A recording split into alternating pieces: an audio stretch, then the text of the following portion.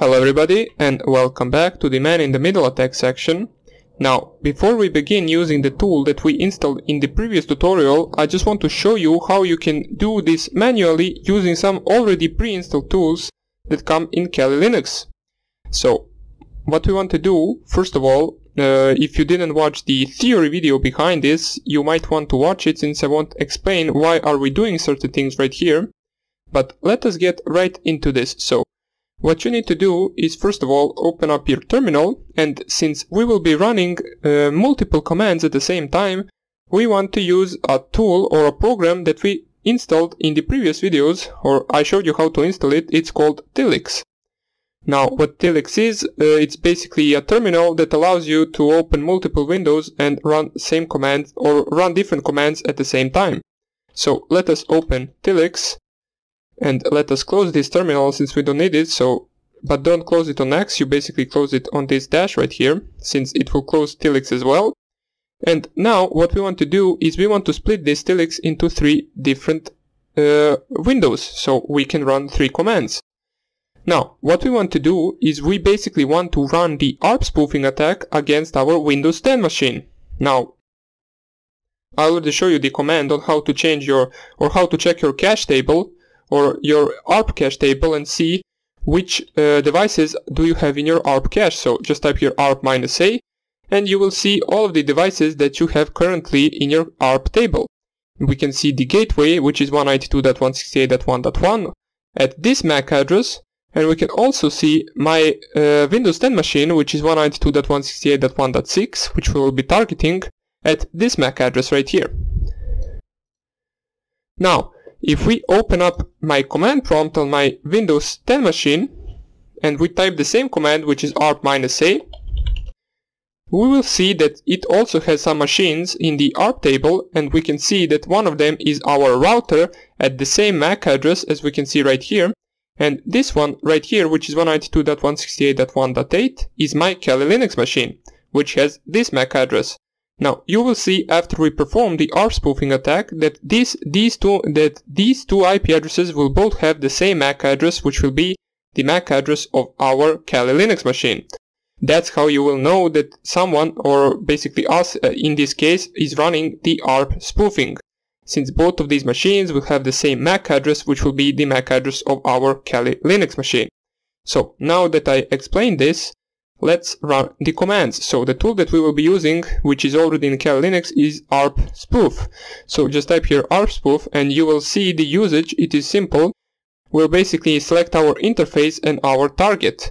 Now, since we are only targeting one host and not all the hosts in our uh, local network, um, we'll basically run the same command twice, but with the reverse IP addresses. Now, let me show you what I mean, first of all. So, type here ARP spoof, then minus i and then select your network interface. In my case that is ETHO.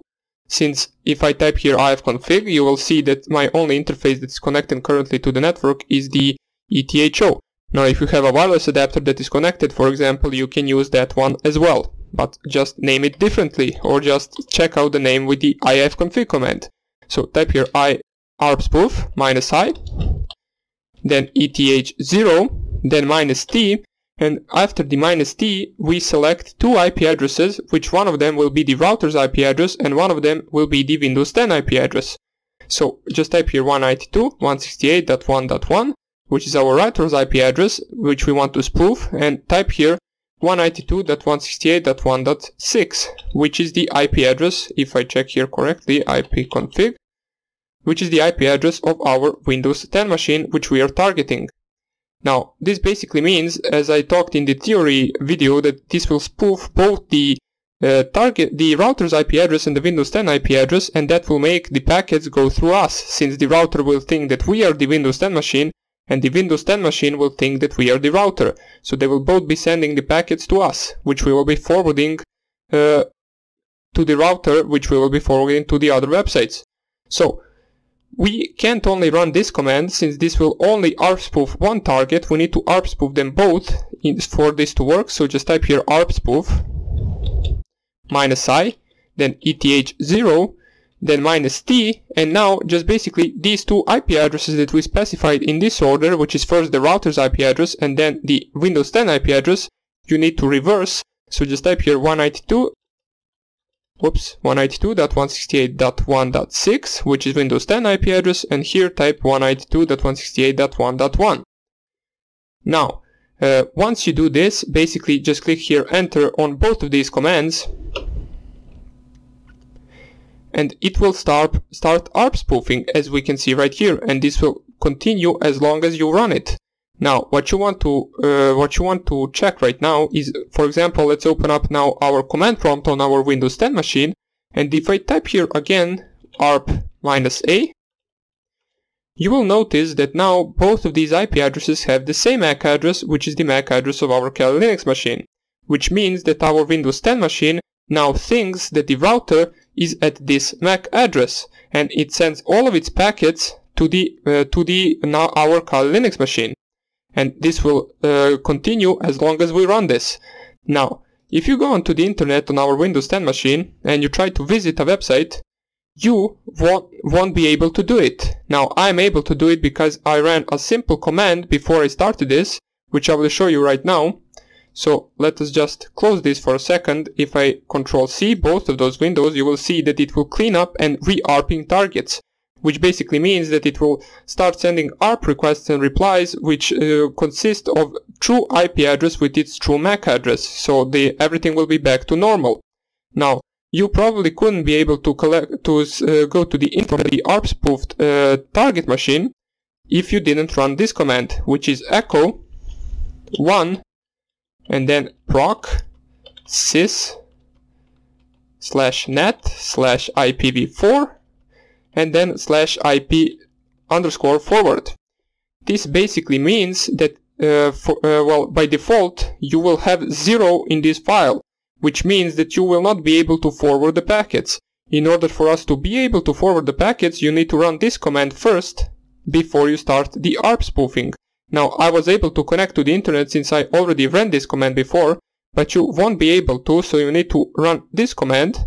It will basically uh, print or it will uh, input one into the IPv forward uh, file and it will be able to forward packets from now on. So just press here enter and if we cat the same file, so let me just copy this right here. So copy and then paste right here. And if we cat that, you will see that now there is one in this file. So now you should be good to go and if you run this once again, you will be able to access the internet on the, uh, on the spoofed machine.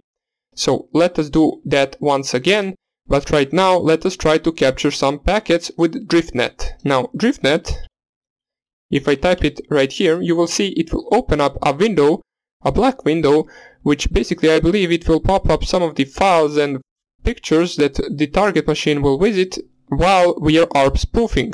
Now, in some uh, some cases, this doesn't work, uh, since um, basically, as I talked about, not all websites can be targeted to the ARP spoofing and to the man-in-the-middle attack, since some of them are HTTPS over TLS encryption, which is not vulnerable to the decrypted man-in-the-middle attack. So you will not be able to read, uh, basically you will not be able to read packets from the TLS encrypted website. You will only be able to read the packets from the HTTP website or the HTTPS website while performing the SSL strip on it. So let me just see if there are any options for the help for this command. If I enlarge this, we can see that we need, oh, basically we need the interface, so we need to select the interface for this command. Now the interface will be the same interface that you're running ARP spoof on. Uh, let's see, do we need anything else? I don't think so, so we only need to run the driftnet minus i and then the interface. So Let's first run that. So driftnet minus i and then etho and we can see that this opened up right here.